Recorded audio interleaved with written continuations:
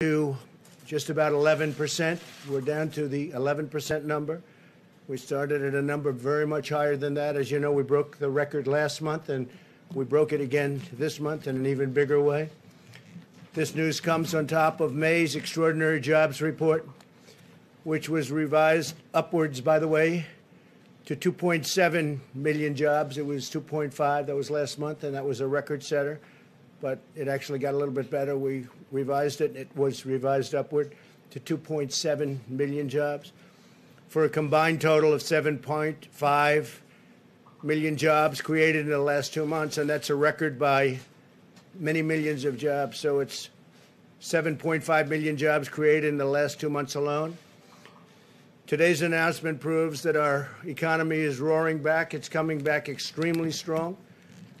We have some areas where we're putting out the flames or the fires, and that's working out well. We're working very closely with governors, and I think it's working out very well. I think you'll see that shortly.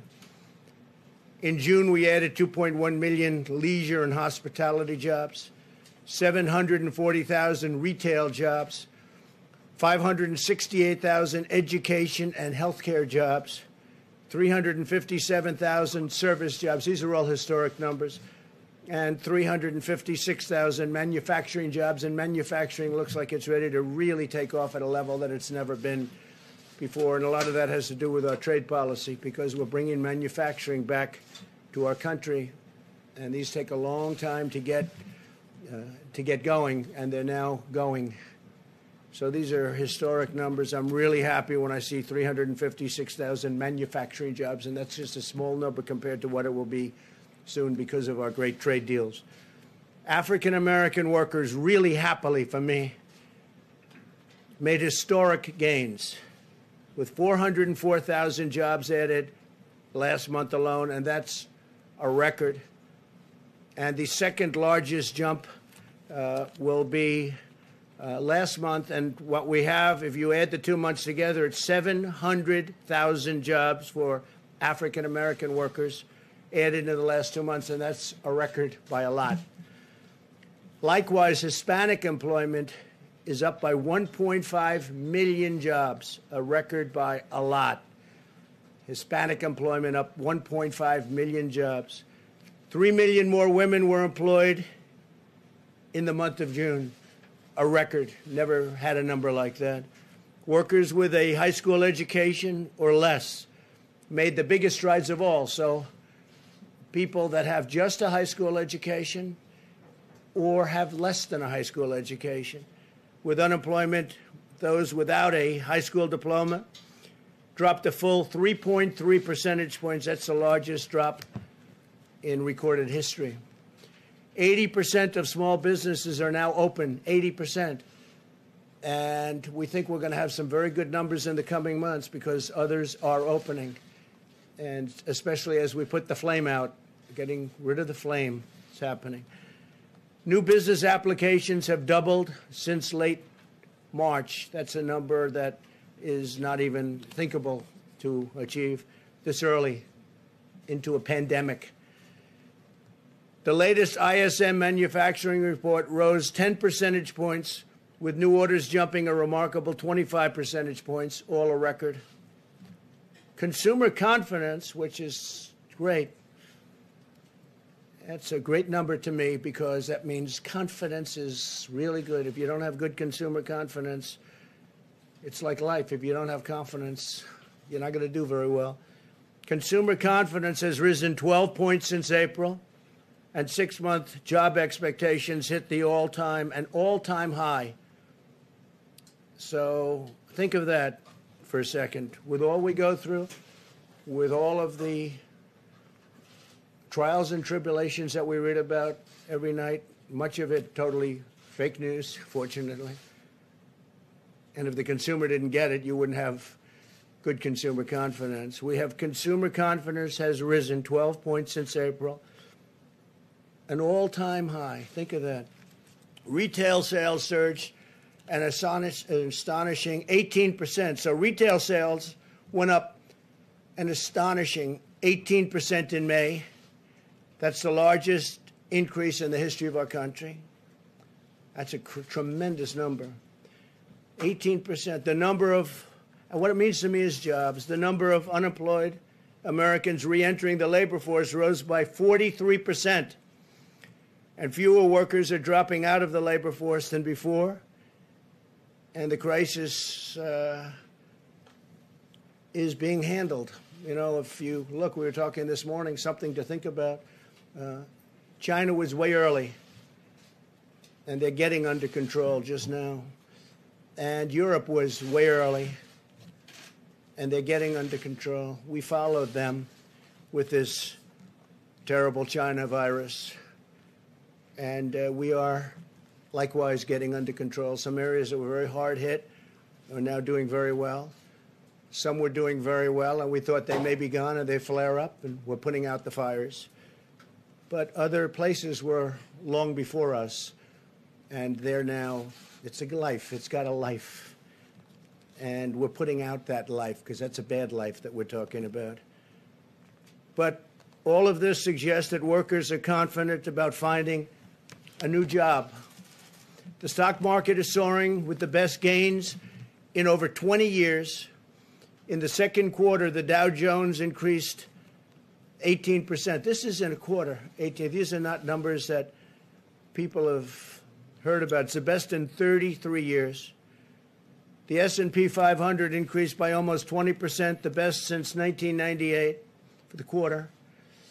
And Nasdaq increased over 30%, the best since 1999. And we had a 50-month uh, if you look over a long period of time, uh, a phenomenal number. But if you look since the election, we've gone up.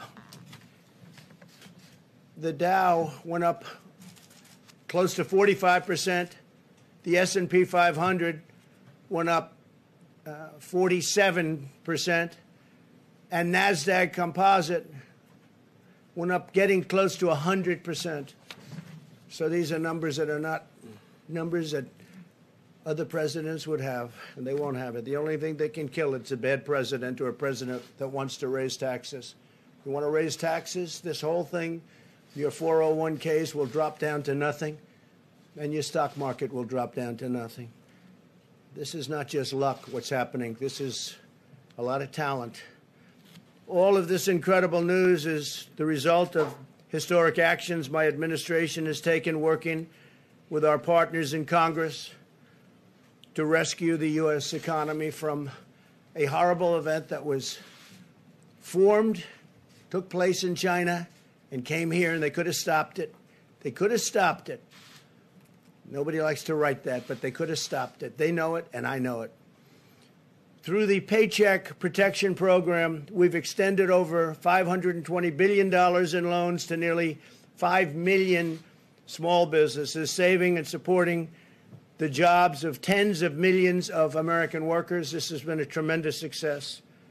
Uh, levels that nobody's ever seen before. But we saved all of those, all of those jobs and all of those small businesses, and some will be large businesses soon, perhaps. We also rushed urgently needed relief to millions and millions of hardworking taxpayers. They got that directly, and we're working on a phase four. We're working with Congress. That Work has started. Steve Mnuchin can give you a little briefing. Talking about payroll tax cuts. We're talking about more money being infused. And it comes back to us. It comes back. It's all coming back. It's coming back faster, bigger, and better than we ever thought possible. These are the numbers. These are not numbers made up by me. These are numbers. We've implemented an aggressive strategy to vanquish and kill the virus and protect Americans at the highest risk while allowing those at lower risk to return safely to work. That's what's happening. Our health experts continue to address the temporary hotspots in certain cities and counties, and we're working very hard on that. Where the relationship with the governors is very good. We made a call. Mike Pence made a call just uh, yesterday and said, "What do you need?" Not one governor needed anything. They don't need anything. They have all the medical equipment they can have. Thank you, U.S. government. They have all of the ventilators they have. You know, we, we're giving many ventilators and selling in some cases and giving when needed, but we're, we're the ventilator king. We're now producing thousands of ventilators, thousands of ventilators a week, and we're helping other countries. And other countries are desperately in need of ventilators because this is now at 189 countries. That changes all the time, that number. Our last count is 189 countries, and many of them don't have money, and they almost all of them don't have a capacity to build a ventilator, which is hard to build, very complex, very expensive, uh, very big in many cases. Uh, we've done an incredible job. So we have uh, assembly lines building ventilators, and we're building thousands a week. All of these people are working with governors and local officials to restore best practices, and that's what we've done. That includes face coverings, social distancing, testing, and personal hygiene. Wash your hands. State officials will decide how rapidly to open their economies. That's largely up to them. If we see something that's egregious, we've gotten involved with a couple of them where we thought it was unfair. We'd like to see churches opened quickly, and some of them just don't want to do that. In New York, we got a great ruling from a judge, thank you, Judge, that they can open. If these best practices are implemented, then the hot spots can be calmed quickly, and we understand this horrible disease right now. We didn't understand the disease at all. We did the right thing. We closed it up. We would have lost millions of lives. We've done a historic thing. We would have lost millions of lives and now we're opening it up, and it's opening up far faster than anybody thought even possible, and more successfully. And as I said, you're going to have a fantastic third quarter. It'll be a third quarter the likes of which nobody has ever seen before, in my opinion.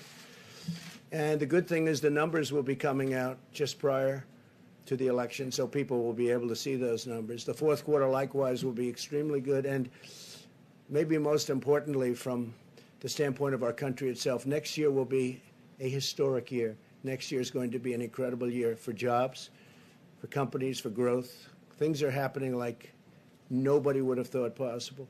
I do want to comment Boeing, as you know, is moving along in their process. It's been a very hard process, a very complicated progress but, process, but they have made uh, tremendous, tremendous gains, and uh, they're going for approvals on the aircraft, on the 737 MAX.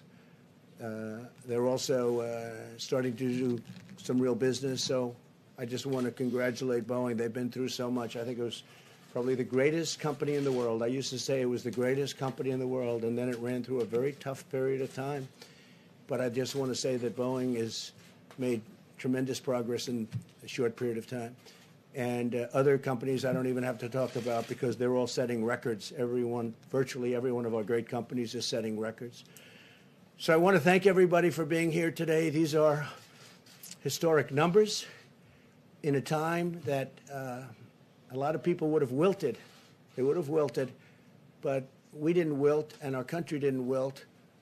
And I'm very honored to be your president. Thank you very much. Thank you. Thank. bounties in your PDB.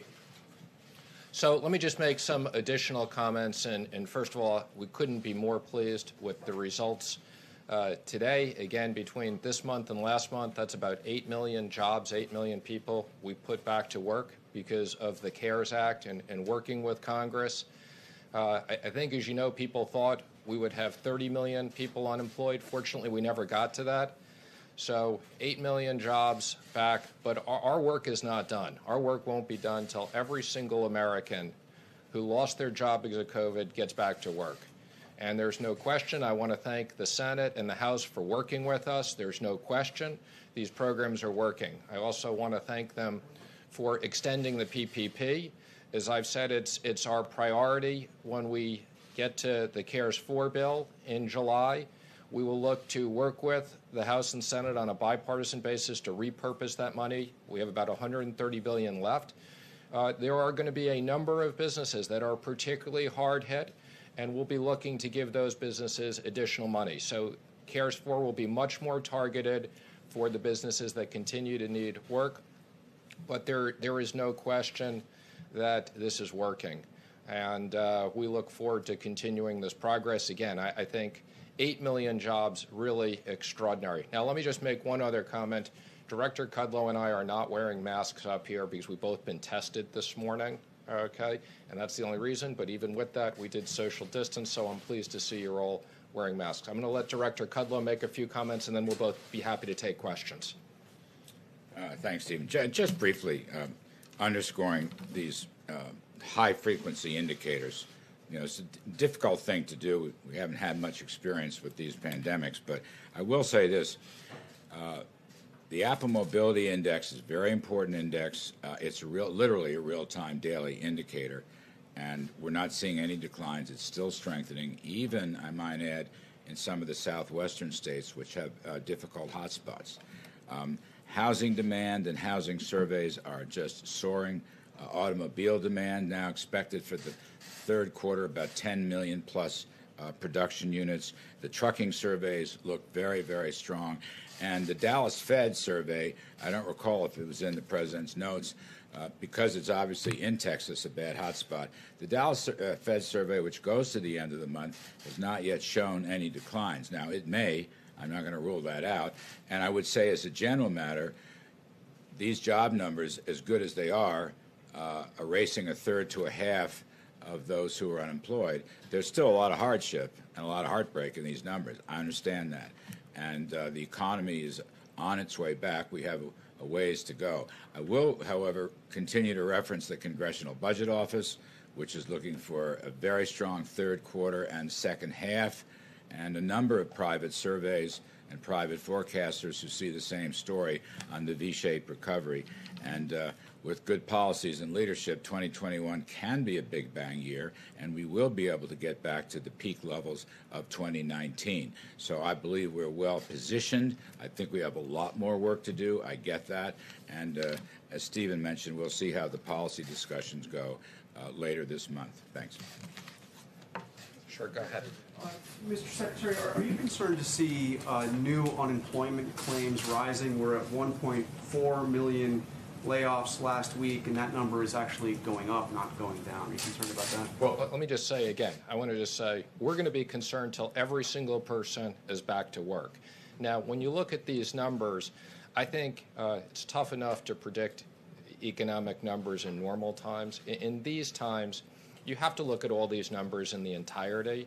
So, uh, what I would say on that is there's a lag on the unemployment claims. I think you also know many of these states we set up front are completely backed up.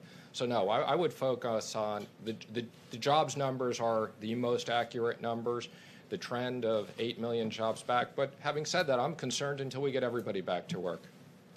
Um, obviously, this is good news today, no question about it. But it's also obvious that the crisis that is surging through Sunbelt states, record number of cases nationally yesterday, threatens all of these economic gains. Many states are throwing their reopenings into reverse. What additional actions is the administration going to take to stop that? Will the administration, uh, and will the president specifically, call on Americans to wear masks? And why don't we have, rather than you guys celebrating good news that it's already happened, why don't we have the coronavirus task force up here giving briefings on how to get under control what is obviously not under control, as Anthony Fauci said this week? Well, let me just say, uh, I am on the coronavirus task force, so I'm happy to answer a few of those questions. I can't comment on uh, the schedule of briefings. I'm not aware of that. Uh, the president specifically put in his speech encouraging Americans to wear masks, social distance, and hygiene because he's the president of the United States and people are not around him close and the people who are around are tested. I don't think he needs to wear a mask. But the rest but the but the rest of us absolutely and the president supports wearing masks. I was at the House this week testifying. I'm sure you saw my picture with Chair Powell on uh, the, the Wall Street Journal. I never thought we'd have a picture like that. But yes, we are encouraging Americans to wear masks. Now, unlike last time, as I've said, and yes, I realize the numbers of cases, we're monitoring that carefully. We're monitoring the hospital capacity. Let me just say I've been briefed on where we are on vaccines and virals. I'm very encouraged. We'll have things by the end of the year. So, yes, we're going to be careful. And I wouldn't say reverse. I would say the states appropriately are pausing certain things like bars and gyms, which obviously are the more contagious types of things. And I think the states are acting appropriately. Yes. There is, Thank you, Mr. Secretary. John's question. Here is John. Look, Deborah Birx has been down in Arizona and Texas. Uh, so they have take, put a team in play, and CDC is doing more of that. And what they're doing is working with local officials, uh, government officials, but health officials, to really re-emphasize what I call the list of best practices. And I think uh, that will do the trick. And if you have to phase out, as Stephen said, if you phase out bars, so be it for a few weeks. Uh, I think some places might have been over exuberant and now have to come back and get back to these best practices of distancing and uh, masks and testing and personal hygiene. But Larry, the president just said a few minutes ago that we're getting this under control. It is obvious to anyone watching that it is not under control, and Anthony Fauci said so out loud this week. I I think what I think what Dr. Fauci said is that if people don't take these things seriously, Yeah. okay, that the numbers could continue to spike. So Spiking right now. again, what I'd say is the numbers are up. We're obviously watching this very carefully. We think that there is the right balance, and we're working with the states on the health issues and the economic issues. We'll go to the next question. Yes. Mr. Secretary, there is a record number of new infections every day. Does the White House regret encouraging states to open as quickly as it did? And do you think some of that is backfiring?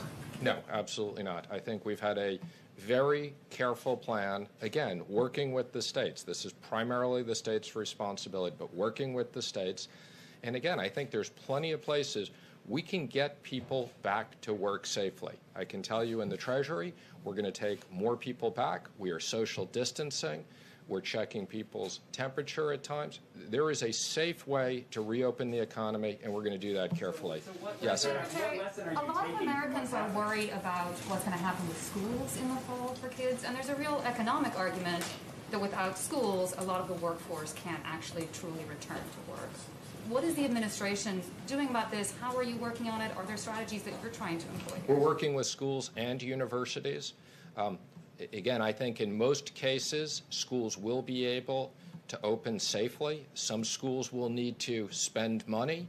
One of the things we'll look at in CARES 4 is if we need to give money to schools to properly equip their areas, I think that's something that will be high. Absolutely. We want, we want to make sure that kids are safe and that if there is money that schools need to spend to safely have people in classrooms, social distance, spread things out, change hours, these are all the things we're looking at. Mr. Secretary, can you assess the current need for American families in a Phase 4 bill? I mean, in the spring you said that a very big number was needed. What's the current need? I think it's too early to tell, and that's the reason why we're, we're waiting. Uh, we've spent an unprecedented amount of money. We have authorization of $3 trillion. That's an extraordinary amount of money. A lot of that money is not in the economy yet. We're continuing. That's why we're extending things like the PPP. And before we go back to Congress, and I'm already having conversations with certain members of Democrats and Republicans to get ideas, but we want to see the economic numbers. As I said earlier, people thought we were going to have 30 million people unemployed right now. Fortunately, we're about 15 million unemployed. We had 5 million people unemployed before this, so we got 10 million people to put back to work. The president's committed to do what we need to do in the next bill to protect kids, protect jobs, protect liability. Yes, in the back. Mr. Secretary, uh, can you take a look at the president's Twitter feed over the past few days? He tweeted a video of a supporter yelling "White Power." He's been tweeting a veto threat if uh, the if military bases are named away from Confederate generals. He's been tweeting a lot about Confederate statues and not wanting them to come down. We're in the middle of a pandemic. Is the president more focused on preserving or celebrating the Confederacy than getting this pandemic under control? Let, me just say, I think the president's focused on everything. I think this issue of, of, of statues and everything else is a complicated issue. There was an op ed in the Wall Street Journal from uh, the, the cardinal in New York uh, about the Bible and everybody other than Mary and Jesus Christ. I think it's a very complicated issue. We need to have a balanced view of history. Just for the White Power video, because he has it. Again, I'm not. We're here to talk about economics. We'll take one more question in the back. Mr. Secretary. Secretary. In the back, yes. Mr. Secretary, where is the Treasury Department on sending stimulus